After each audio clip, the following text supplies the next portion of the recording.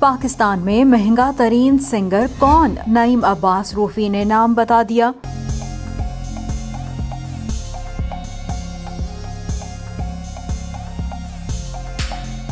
Pakistani famous musician और singer Naeem Abbas Rufi ने एक इंटरव्यू के दौरान पाकिस्तान के एक्सपेंसिव सिंगर से मुतालिक बड़ा इंकशाफ किया। पॉडकास्ट इंटरव्यू के दौरान होस्ट ने नईम अब्बास रूफी से पाकिस्तान के एक्सपेंसिव सिंगर से मुतालिक सवाल किया कि इस वक्त पाकिस्तान में सबसे ज़्यादा एक्सपेंसिव सिंगर कौन है? जिसका फौरी जवाब देते हुए नईम अब्बास रूफी ने कहा कि दो ही हैं। पाकिस्तान का सबसे महँगा सिंगर कौन है? इस टाइम आपको क्योंकि आप दो ही हैं। होस्ट ने सवाल किया कि वो कौन है जिस पर पाकिस्तानी फ़ेमस म्यूजिशियन ने बताया कि राहत फतेह अली खान साहब और आतिफ असलम।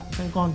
राहत फतेह अली खान साहब अच्छा। और आतिफ असलम। होस्ट ने पूछा कि दोनों सिंगर कितने पैसे वसूल करते हैं तो जवाब में नईम अब्बास रूफी ने कहा कि अमेरिका में सत्तर हज़ार यूएस डॉलर कितने पैसे ले रहे हैं?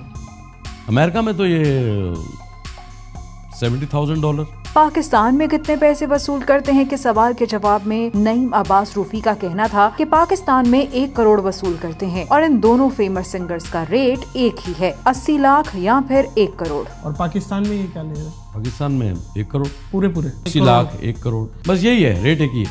अस्सी रेट एक ही? लाख एक करोड़ एक ही है।